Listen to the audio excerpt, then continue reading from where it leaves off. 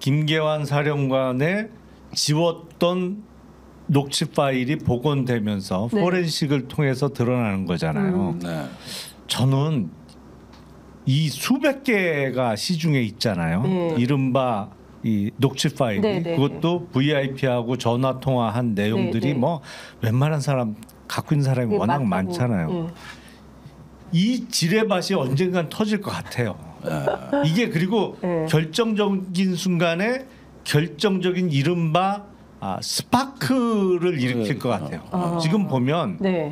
분위기가 예. 온통 인화 물질 바닥이에요. 어, 어, 유증기가 꽉 차. 아, 있어. 이게, 이게 그냥 인화 물질도 그냥 바닥에 흥건히 젖었어. 어떡합니까? 근데 어디서 스파크만 일어나면 이게 폭발하는 건데 이 아, 스파크의 무서워. 역할은 예.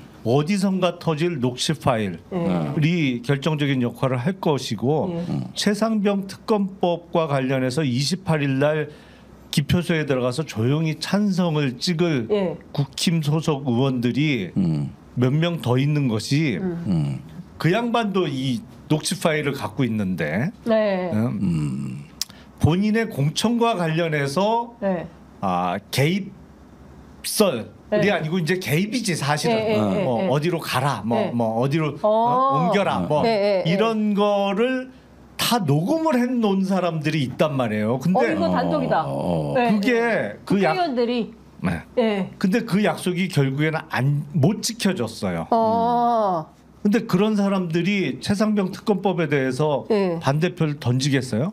그러네. 지금 반감이 어마어마해요. 아. 하란 대로 했더니 공천이 안 됐어. 네. 음, 망한 거네. 예. 예. 음. 그런 사람들이 있단 말이에요 예, 지금. 예, 예. 그, 그 사람들이 또 녹취 파일을 다 들고 있어 지금. 음. 와. 그러니까 이게 기표소 들어가서 당연히 아, 당론과는 다른 투표를 할 가능성이 매우 높고 네. 음. 그리고 그게 한두 개도 아니고 예. 음. 수백 개인데 그 녹취 파일이 이게 오- 언제까지 안 터지겠냐고요. 이게 음. 이미 지운 녹취 파일도 수사 과정에서 그것도. 정치인도 아니고 뭐 아- 네. 군인이 녹음해 놓은 게 드러나잖아요. 딴 사람도 아니고 해병대 사령관이 녹음해 놨던 녹취 네. 파일이 드러나는데 네. 예, 그것도 비화폰일 건데. 그러니까. 그런데 다 살려놨어요. 그런데 지금 여기서 예, 우리가 예. 쫙 봐야 되는 거는 예.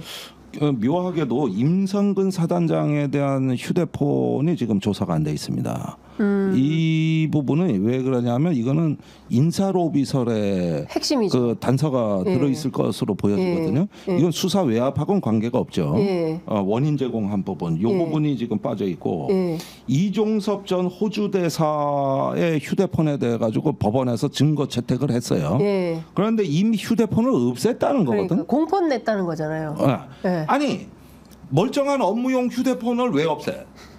그러니까 이 자체가 벌써 이 조직적인 이 은폐 조작, 네. 예, 정황 이렇게 아니냐. 정황들이 다 드러나는데 사실은 이런 것들 다 봐야 돼요. 음. 어 그리고 지금 박정원 대령하고 공수처 이렇게 쌍두마차로 진실에 접근하는 양대 축으로 이게 굴러가고 네, 있고 네. 있는데 이건 또 박정원 대령 재판부에서 이거 어, 증거 채택을 해버렸단 말이에요. 음. 예. 그러면은 거기에서 이제 저기 뭐냐 일단은 통화 기록까지는 확보합니다. 예. 아 그러면은 지금 여기서 뭐가 더 나올 데이터가 없냐 예. 이런 부분들로 이제 저변이 확산 확 일로에 있는 거예요. 네, 네.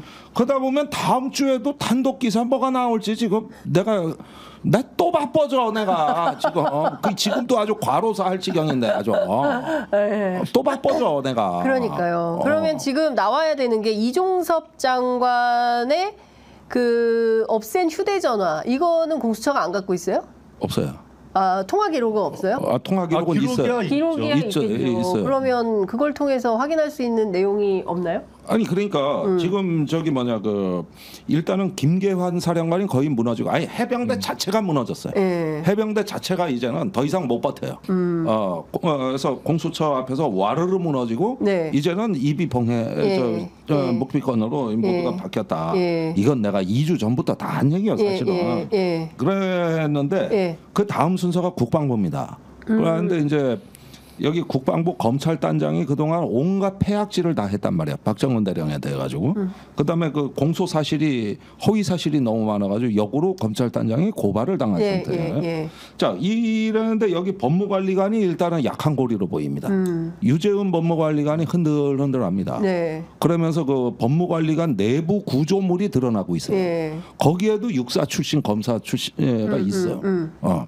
그래가지고 고자를 요즘 야전으로 빼돌렸더라고. 어, 거기가 보고서 다 쓴 사람이야. 박정훈 구석의 당위성이라든가 예, 이렇게 예, 해서 예. 조사본부하고 국방부 검찰단하고 이거 저 일종의 어떤 그 저 싱크탱크 역할을 한 게 법무관리관실이에요. 음. 거기에 내부 구조물이 드러나고 있다고. 근데 유재훈 법무관리관이 지난 재판에 출석해가지고 음. 증언하면서 본인이 결정한 게 아니라 국방부 장관의 수명을 받아 음. 어? 업무를 수행했다 이렇게 얘기를 했다는 거잖아요. 그러니까 어, 이거는 내 잘못이 아니라 이종섭 장관이 시켜서 한 거다 이 이거 아니에요? 네. 네. 근데 이종섭 장관은 기록해서는 난 모르는 일이야. 그러니까. 어, 그러는데 거꾸로 이시원 공직기강 비서관하고 통화는 많이 해요. 네. 그러니까 언론에 잘못 나가는데 네. 그 26번 통화는 그거 잘못된 수치입니다.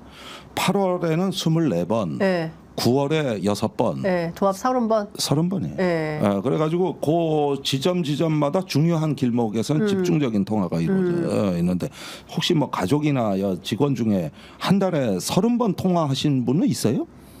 가족이요? 없지. 아무리 친하다 할지라도. 가족하고는 할수 있죠. 가족하고는 서른 아니 번 그래도 이상 서른 통화하죠. 번 근데 그런데 이제 한 달에 직장에 한 달에 네. 서른 어 번? 서로 어 서로 한 달에 모르 서른 번 이상 하죠 가족하고는. 어, 그래요? 네, 그럼요. 어 자상하시네. 난 그거 뭐 아니, 반도 안 돼. 아니 어. 네. 가정이 다 똑같지 않아요. 어, 그런가? 의원님의 사례만 생각하시면 안 돼요. 아 그래요? 우리 집은 자주 통화해요. 예, 할 일이 많아요. 얘기할 게 많아. 어, 그래? 애들이 아직 어려서 어. 관리가 많아. 거의 뭐 수십 년째 이렇게 방생하고 계신 집하고 다 똑같지 않아요. 아, 그래. 어, 그러면 자, 저- 제각각이에요. 네. 그런데 30회인데 정확하게 이러는데 이 부분에 대한 재판 증언에선 전부 기억이 나지 않는다예요. 음. 아니면은 할 말 없으면 사법 정책 토론했다예요. 서른 번을 사법정책 토론을 하냐고. 그러니까. 이런 정신 나간 공직자들이 네. 뭐 어디 이게 논리가 되는지 상식이 되는지 뭐 그냥 아무 말이나 짓거리고 있어. 음. 그런데 이거는 그냥 국민들이 이렇게 보시고 판단하면은 되는데 음.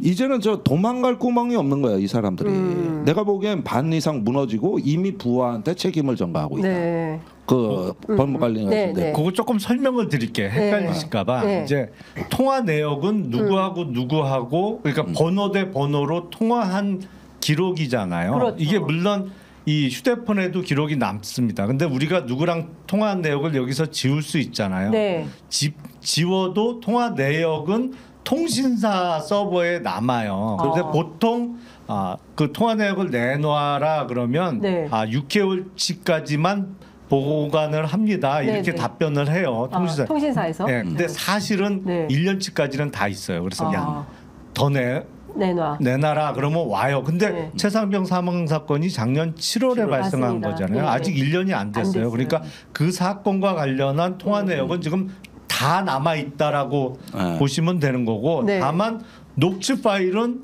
통화하는 사람이 녹음을 해놓지 않으면 남아 있을 수는 없는 거죠. 아. 그렇잖아요. 예. 녹음 버튼을 눌러서 녹음했다가 나중에 지워도 이거를 포렌직으로 살려냈다는 게 지금 음. 김기한 사령관의 그 녹취 파일인 네, 네, 거고 예. 이거 녹취 파일이 지금 안 지우고 살아 돌아다니는 녹취 파일이 수백 개가 수백 있다. 개가 예, 이렇게 아, 이해하시면 네. 돼요.